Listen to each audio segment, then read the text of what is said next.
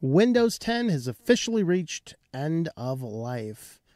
And as this progression goes, they're moving more and more towards online accounts, and then they're going to be using this information for interesting things auto saving your documents, facial recognition on your faces, all sorts of neat stuff. But let's go ahead and talk about some of the end of Windows 10 stuff here, real quick, and then move into where they are going and what you might want to consider doing for yourself.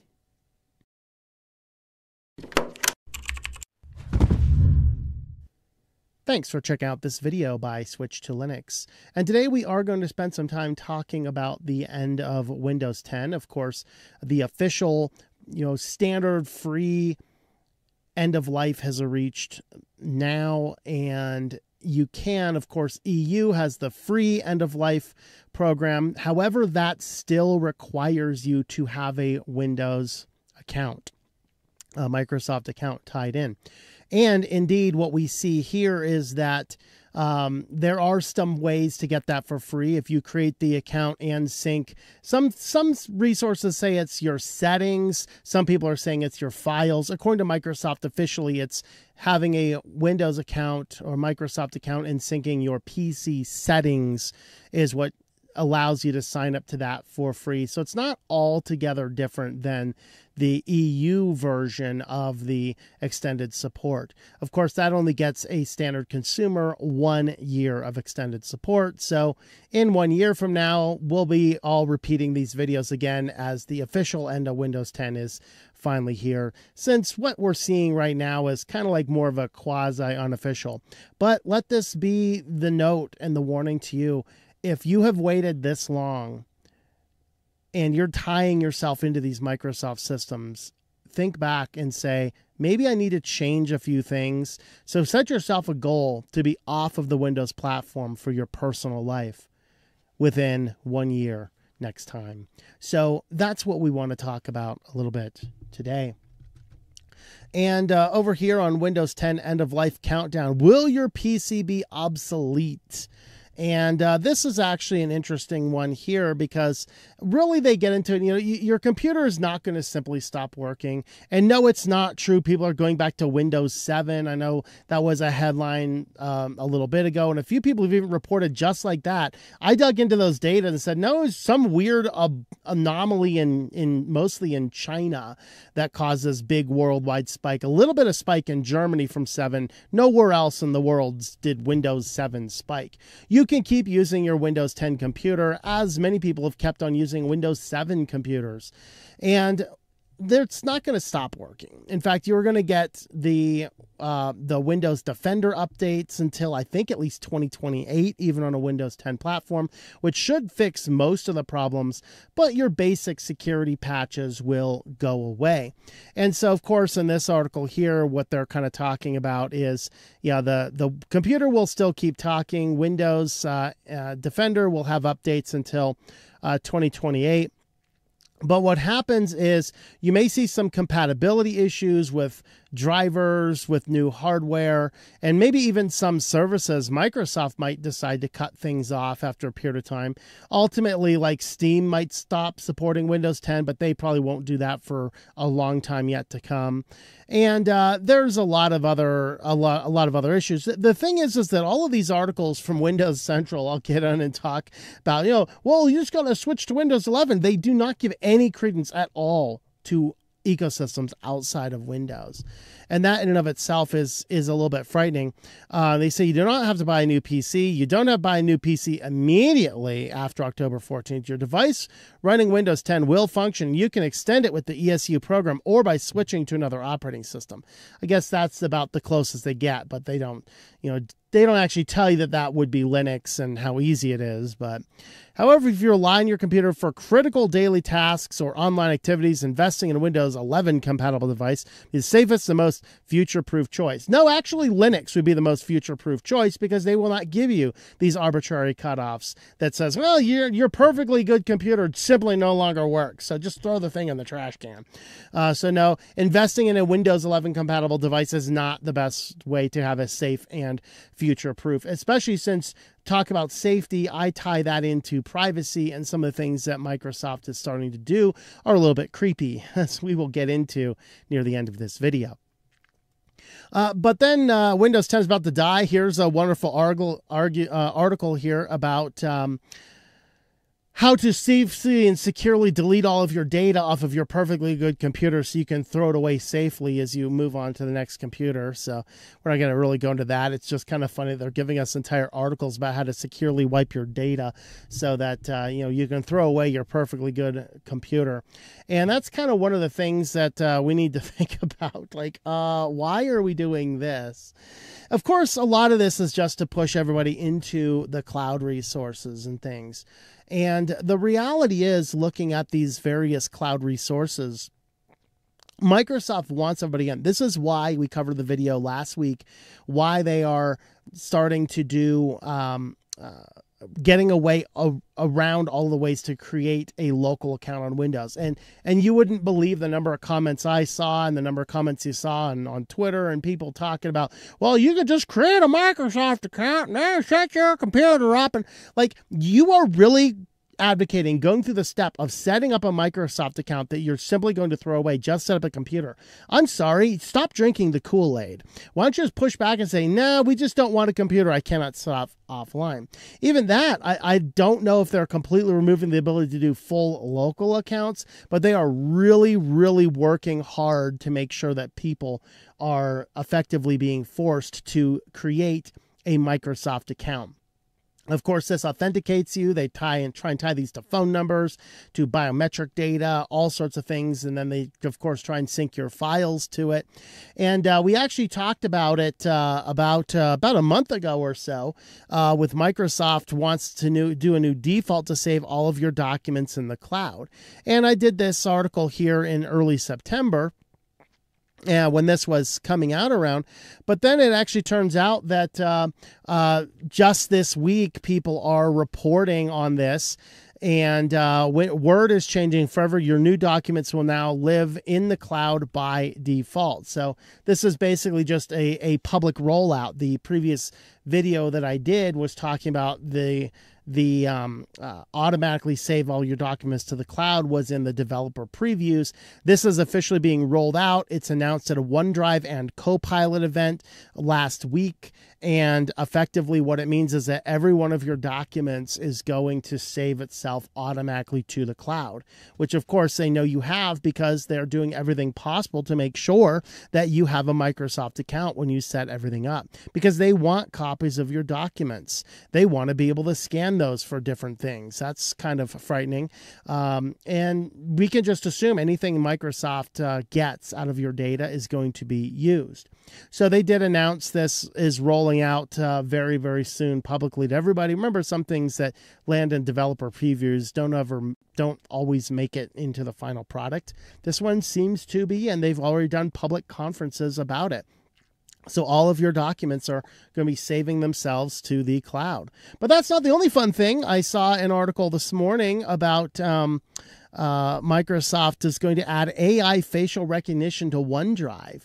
Now, this isn't too unlike what Apple does with their phones. I don't know, like five or so years ago, where you could go in and um, just on your camera roll, you type in like people, and you'd see all. It would sort your your camera roll by all the people with people. You could say dog, and it's sort it by every picture that had a dog in it. And there were fun things people were doing, like, you know, busts and things like that. And uh, uh, so you could um, get some interesting stuff in there. And of course, Google has a similar option as well, but this one's a little different in that it's utilizing AI facial recognition. See, those will sort what ones have faces, what one have dogs, which ones have cats. This can actually sort by specific people. So you can say, find my friends or family in the photos that I have uploaded. And uh, this ties into the video we did, uh, I think it was last week or so, on the Weekly News Roundup, where we talked about respecting other people's privacy. It's one thing if I want to give all of my data to Microsoft, but what about the fact that so many of these systems exist where somebody can give someone else's data to them, which are being used by facial recognition or AI platforms or things like this. Now, Microsoft has said, we're not training your data on AI, you know, we're not training our AI on this stuff, you know, but you can just use it to upload it. Same thing that, that, uh, uh, Amazon is doing with the Ring cameras we discussed in that uh, Weekly News Roundup article, where you can basically program in certain faces, and Amazon's AI facial recognition is going to give a different response to a person on a special family list than they would to a total stranger. And that I, I think should be completely illegal. We need to pass laws against that because I did not consent to give my name and facial information to Amazon or to Microsoft in this case. But that is really what they're doing it. And what's causes a lot of people right now to question what's going on here is you can only disable this three times a year. Well, what if Microsoft keeps on accidentally re-enabling it after every update they like to do? Or they just randomly decide to re-update it? I'm clear, dude. You're not doing your. I mean, think of how many times your Windows computers give you a notification that you're you're not using OneDrive. Come on, why are you not using OneDrive? And they try and turn on your, you know, your OneDrive stuff, and uh, now you can only disable it three times a year. Well, is it ever going to turn back on? That's an interesting uh, piece of information. So they roll out AI facial recognition to recognize people in photos. Now it's not just people; they actually say in their uh, in their system. So this says it's like uh, AI features uh, similar to Google and. Uh, uh, no, I'm not interested in your crap. Uh, similar to Google and, and Apple. The problem is, is though that this one can actually you be used for identifying specific people. This is the actual toggle switch on the phone. OneDrive uses AI to recognize faces in your photos to help you find photos of friends and family, not just pictures with people friends and family, which means Microsoft is working on an AI system that knows who people's friends and families are. This is a surveillance state, guys. We need to push back against this really, really hard. I know.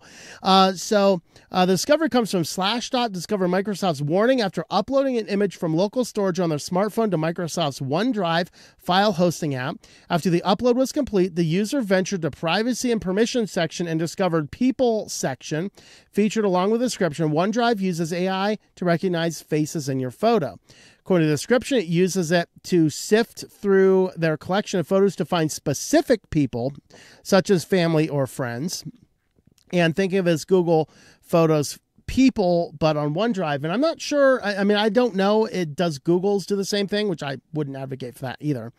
Uh, what is probably the most concerning aspect is you can only turn off the setting three times. So this is that setting. You can only turn it off three times. They say after they turn it off within 30 days, they will uh, they will delete the data. And their reasoning for only three times a year is because of the processing power to manage and delete all of this data. Um, maybe just turning it on three times a year might be the problem. Turning it off is easy. Just delete, you know.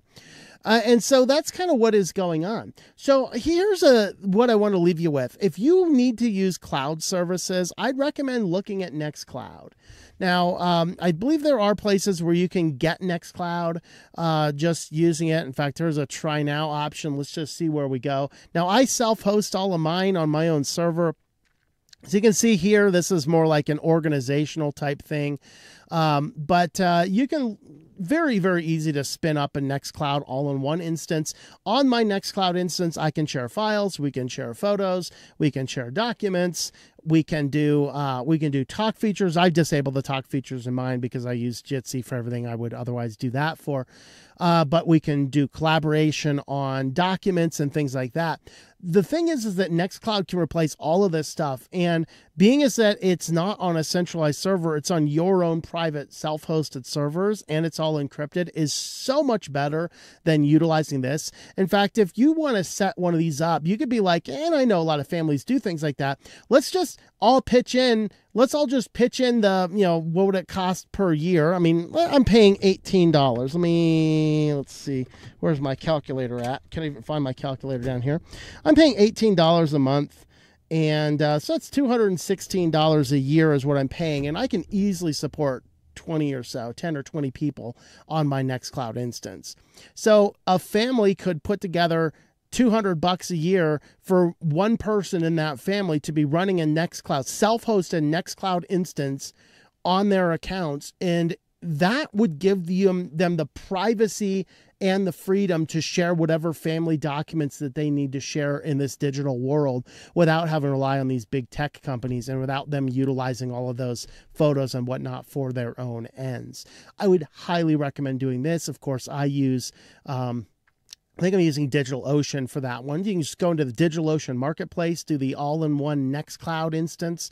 It spins itself up in a hot second, super easy to do, and very easy to manage and maintain. And it is not an expensive platform. So I'd highly encourage everyone to look at this as an option. For your Office documents, hey, LibreOffice is not going to be working with all this AI nonsense.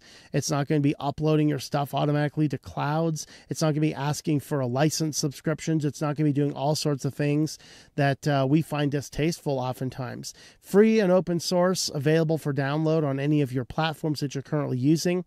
And I'd highly recommend you have a look at LibreOffice because you do not need Microsoft Office. There, I, I would be hard pressed to find any task that if you were tell tell me you got to use Microsoft as I couldn't do it with LibreOffice instead. And this is absolutely what you should do. Of course, if you're still running on Windows 10, maybe you've signed up for those extended use platforms, start experimenting with Linux Mint this year. Now, there's other Linux distributions as well. This is the one I always steer people to start with, and I highly recommend you have a look at that. Um, but uh, Linux Mint 22.2 is the primary one. Of course, as I am recording this video, LMDE 7 has just released uh, this week. So this is the brand new version based on the Debian uh, platform. So there are a lot of good options in this, and I'd highly recommend you have a look at Linux Mint in any one of the options. Uh, for a brand new personal Linux, I just use the Linux Mint 22.2. Get yourself familiar with Linux, and then if you want to, branch off to other distributions from there. So there are our thoughts. Let me know your thoughts on all these in the comments down below.